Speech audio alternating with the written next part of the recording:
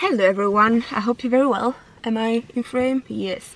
Um, so today I want to talk to about a topic that I've been wanting not to talk but I've been wanting to make a video about it since basically the start of my YouTube channel and even in my blog uh, but I never felt quite comfortable about it and I don't think I am comfortable even now but I thought I'll just get over it with and it is how do I go oh you can go to the toilet while living and traveling in a van. And by toilet I mean number one and number two.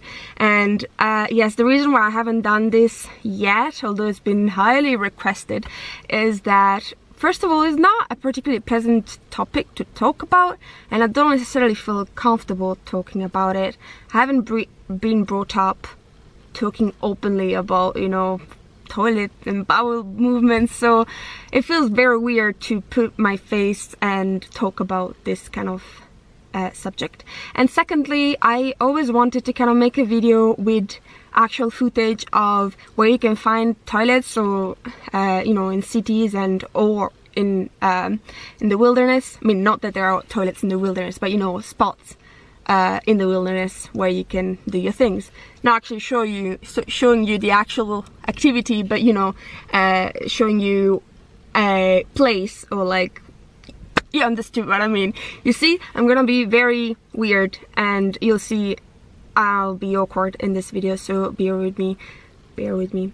Um, but yes, um, so I'm gonna talk about places in urban areas and places in uh, wild areas mainly. And before I start if you speak French there's a really really brilliant video online on YouTube by a guy called Johatsu hello uh, which I actually met in France. And he did a video about toilets. And actually that was one of the reasons why I procrastinated making this video a lot because what he says in this video is like it's very on point which is basically if your only reason not to embark in the adventure of your life is that you need someone to tell you where to pee and to poop, then think about what is it that really is stopping you for your adventure. Because it's true like anytime that you're out and about running your errands or hiking or you know anytime that you're outside of your house you always find a way to do your things. Yeah basically his video summarizes this and it's really really good and it's really well shot. So if you speak uh, French or you understand a little bit of it then I'll um, link it down below. But without further ado I'm gonna list some of the places where you can go for pee and poops. And for me um, peeing is not really an issue it's not really an issue. Because you know there's bottles and for us ladies there are funnels. So what I use is like a funnel that goes inside a glass bottle. Actually I prefer glass because it doesn't stink. Not that I leave it there for a very long time. Usually you know I do it and then I throw it away. Uh, but glass I, I think it's a little bit more hygienic in a way. So you know I do my thing there. Then I clean my funnel up with a wipe and uh, I throw away the pee wherever it's suitable. So not right on the street not in front of somebody somebody's house. You surely use your common sense for uh, disposing of your own urine. Urine is really good for plants. Um, there's people that do collect their own urine and put it in plants because uh, it's it's a good fertilizer. So you know if you find a little patch of land and uh, you're away from houses you're away from like people looking at you then you can uh, dispose of it there. Um, uh, having a bottle is also good for you know night emergencies because if you're in the middle of a city or you know somewhere where there's houses around you don't want to pop out and like peeing next to your van unless you're of course in the wilderness. So a bottle is like a good safety uh, safety? It's it's a good option to have in the van even if you're not gonna use it very often. So yeah weeing is like easy. And if you're a man gosh you don't even have to worry about it basically. Um, but about number twos which are the most how to say that uh, frustrating maybe points of van life it is? Is it frustrating? No like problematic things I would say. Um, in urban areas it's so easy. It's so easy. Think about if you were to go uh, shopping, as I said before, or if you went for coffee, or if you went, you know, for exploring a city, then you would know where to go. You would go to a cafe. You would go to a restaurant if you want to go for food. You would go to, what did I here? To a mall. Uh, public toilets, there are some countries have more public toilets than other countries. If you're in a touristic area, then they're probably gonna be public toilets.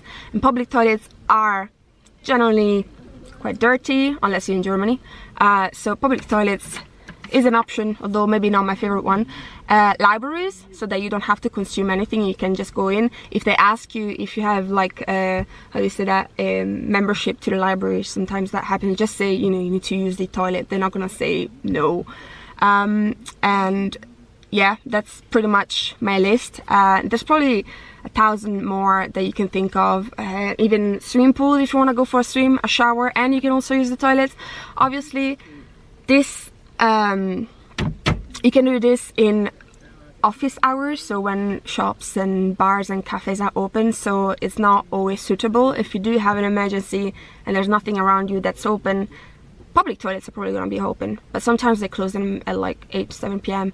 Uh, there will be the emergency solution, which I'll talk about later, don't worry. And if you are in the wilderness, then again, it should be easy. It should be easy if you are in a if there are no people around and if there are trees around um, because obviously you don't want to be doing your thing in like the open fields even if there's nobody you never know if, if somebody's gonna uh, pop up uh, when you're you know in the middle of something uh, but yes so if you ever been for a camping trip of more than one day then you probably know how uh, to do this. You would have a, a little shovel that's it's in front so I can't really show you. Uh, it's clean don't worry. You would have a little shovel to make a hole in the ground. I think 30 centimeters deep. Is that a lot? Is uh, suggested? But I'll, I'll check that uh, I do it by eye so I don't know you know I don't have like a rule to check how big is the hole. Um, but yeah and you do your uh, business in it and then you bury it. There's um, guidelines on how to do that. So for example you shouldn't poop poop. Oh saying that loud on YouTube. Great. You shouldn't do your number two uh, next to water. I think you have to leave 150 meters. Um, uh, from any sources of uh, water but I'll leave down uh, the guidelines of um, what's suggested that you would do and what you need to follow really. Uh, obviously be sensible of it that like if you're close to a farm or if you're close to a park and then don't poop just there. I mean it would be buried and everything but you know there's dogs that really like human poop. So if you park next to a parking and it's like a place where dog walkers come, then they might just come and dig it out. So just be sensible about it. And as for the toilet paper, don't use baby wipes. Only use uh, biodegradable toilet paper, which is basically most toilet paper around uh, is degradable. Uh, but put it in the hole. Put it in the hole. There's like this really drives me mad when I go somewhere and people, well, people that don't put the paper in the hole is probably people that don't even bother doing the hole so that's a whole another story. But yeah put the paper in the hole or burn it. Uh, obviously if you're not in an area where you can't burn things but yeah burning it is probably the best option because it doesn't leave any traces but again be careful about it. Don't just listen to me. Uh, look at your environment your surroundings and do your research before you know read the guidelines. Um, and yes about people uh, pooping without even caring.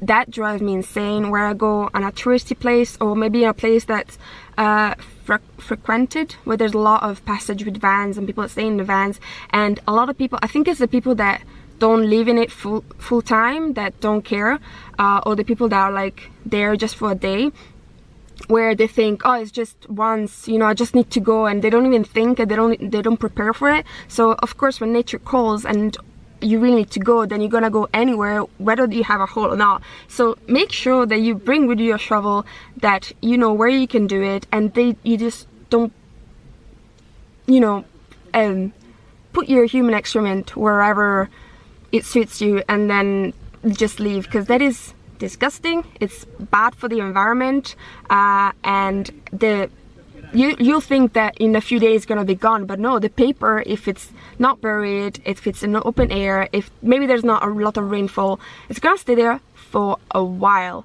And the last thing you want is for people that are like locals to see that and then you know forbid people from coming there or like from vans to um, you know uh, to park overnight. Anyway i'm going on a, on a tangent there but it just really drives me mad because it's just so irresponsible uh, and yeah okay.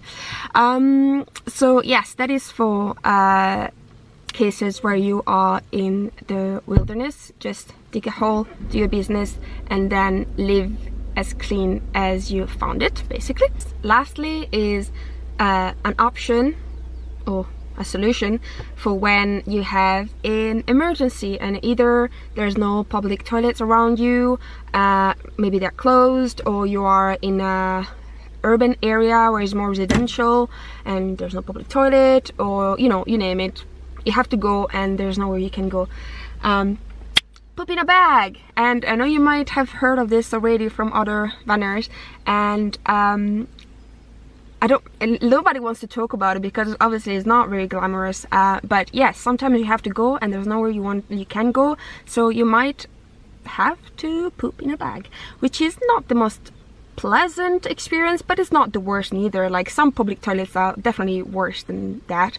Uh, so all you do is you just put one or ideally two uh, bags onto something. You can use a bowl or like a bucket or whatever you have uh, in hand you should probably have like an emergency bowl or whatever you want to use that you use just for that. You don't want to use that for anything else. Um, and you just line it and you do your business and then you dispose of it. And um, a lot of you will think and I'm prepared to receive a lot of hate and disgust from this video but it's the reality of it so go ahead. Um, a lot of you will think that it's very disgusting and that why would you do that? And like yeah, basically it is disgusting. And yeah, I mean, poop is not particularly uh, nice. it is disgusting by default. Um, and um, if you think about it, uh, yes, you would have to dispose it in just a, a, bin, which is what you would do with dog poop and also nappy, which is basically poop. And if you think about it, when you poop, when you do number twos, I'm trying to say poop, although this video is about poop. Uh, if you do use just a normal toilet, you are most likely, 99% likely, uh, to poop on clean potable water, which that is disgusting if you think about it. Uh, and of course, I'm not saying that pooping in a bag is better or worse than having using a normal toilet, but I'm just saying think about your own habits before you point your fingers to others. And um, I'm not saying that doing this is a substitute in any way by normal sanitization. I mean, sanitation is there for a reason and uh, without it, we will be in big troubles. I'm just saying sometimes it does happen that you need to go and uh, you don't have a toilet and that's what happens. And I'll say it doesn't happen very often. I mean it depends on you and how well you organize and how you know how how do you say that?